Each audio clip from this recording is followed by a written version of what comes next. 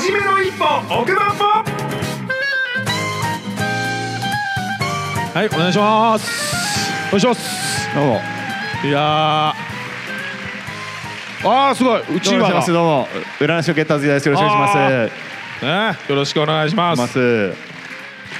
あおい。いですねい。いですすごい。練習してないのに。練習してできんですよ最でできた。近はよろしくお願いします。すごい。ですね。800名800名来てはい。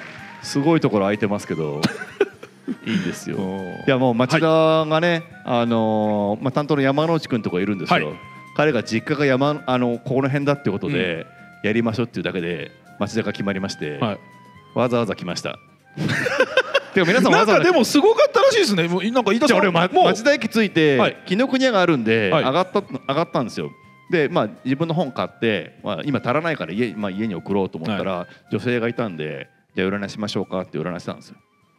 すごくない？で占ってたら一人男性が来て「うん。ああのファンなんですけど」っつって、ファンなんじゃあですけど。じゃあ占いましょうかはい。って占ってるともうそこ4人列並んでるから。やばいやばい。やばいよ。まずいまずいと思ってで俺は書店回りしたかったんですよ。いろいろ回ってはいこうかなと思って、そしたらまあそこで占ってはい。じゃあまあ自分の本買って。そしたらもうエレベーター向かうところで捕まる捕まる捕まるでずーっとエレベーターに乗るまで10人ぐらい占って。もう。で今日さっき占った人いますもんね。さっき占って。ほらほらで占ってあ占ってもらった人？占ってでもう一店舗に有林堂に行ったら、有林堂にも待ち、まま、待ってて。すごいですね。ここですみたいな。ここですって。なんか俺が遅れたみたいになってて。待ち合わせしてるかのような。違う。の俺は本買いたいなと思ってうん。本買って、うん。じゃあ占いしますよってはい。占いして、そしたらそっからですよ。はい。町田の駅の有林堂からここ一緒にここまで来ましたからね。やばい。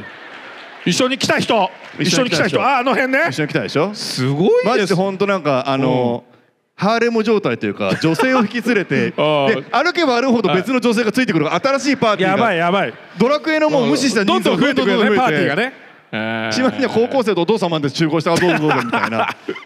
無事にたどり着いて。無事たどり着いてね。えー。なんか不思議な大名ちっちゃい大名行列して。いやすごいですよ。町田の方まで来ましたんで。あ億万です。よろしくお願いします。すいません俺自己紹介忘れてて。まあでも公開公開収録ですからもうえ億万くんのこと知らない人多分いないと思います。いやそんなことないと思うんですよ。はい。億万え億万知らないぞってします？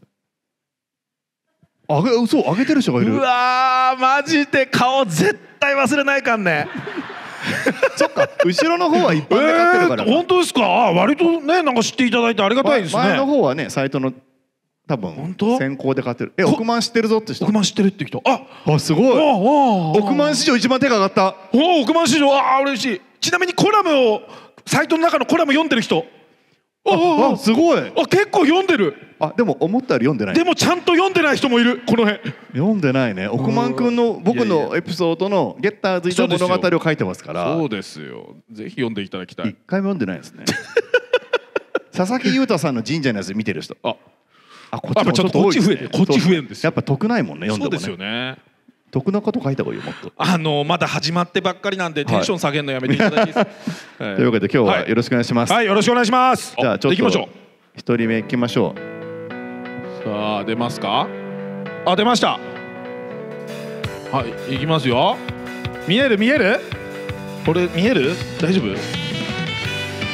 はい。これでさあ私が押しますよ。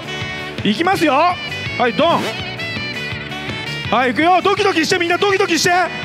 ドキドキして。はいそのその30 34番。あなたです。うどうぞこういう感じ。おめでとうございます。こういう感じ。どうぞ。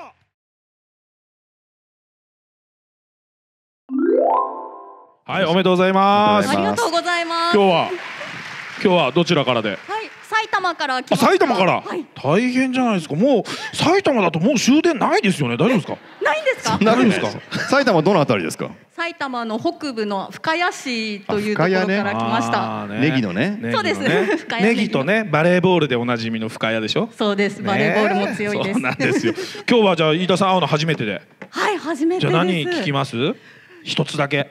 一つだけ。一つだけです。そしたらですね。一つだけにしましょえっと、うみんな待ってるんで。はい。一つだけにしましょう。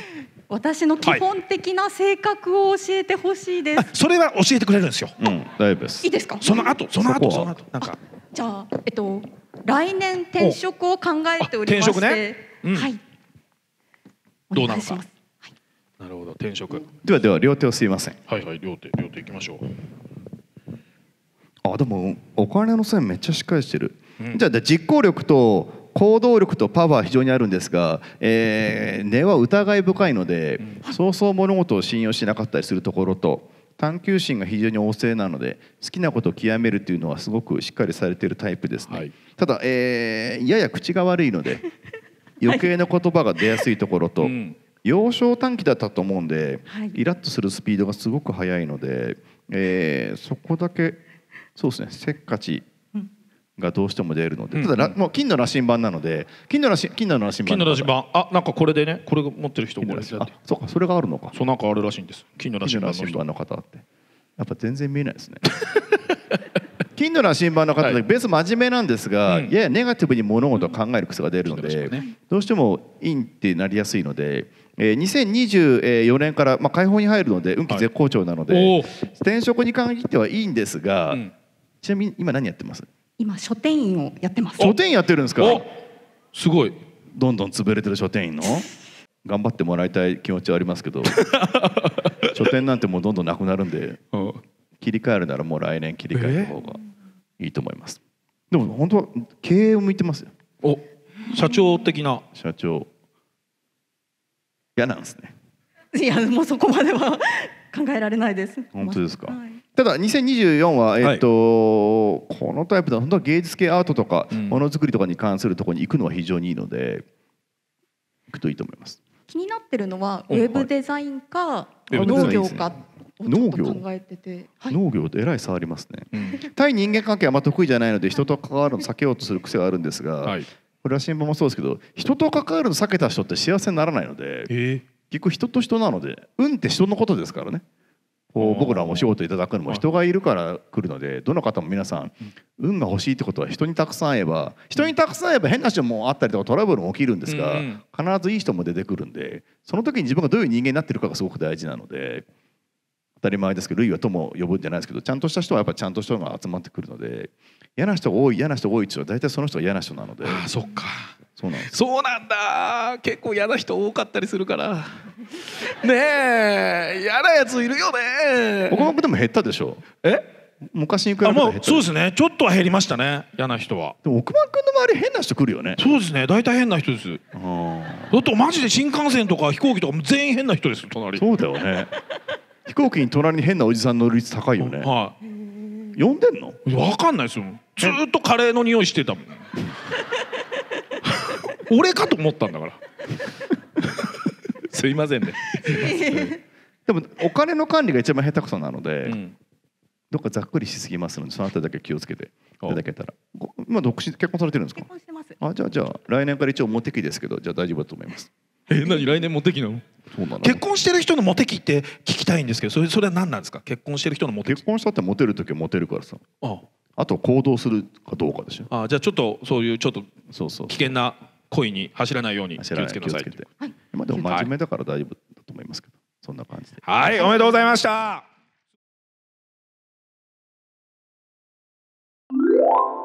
はいおめでとうございます。すごい。ありがとうございます。よかったですね。今日はなだどなたかといらっしゃって主人と。あご主人と。主人とあ、あ大体そうあんまやらないですよね、そういうご主人に。僕がやるのはわかるんですけど、なんか、えー、どっちが誘ったんですか？えっと私があ、じゃあよかったじゃないですか。今日何聞きます？一個だけなんですよ。えっとですね、私あのちょっと4年前くらいからうん。占いに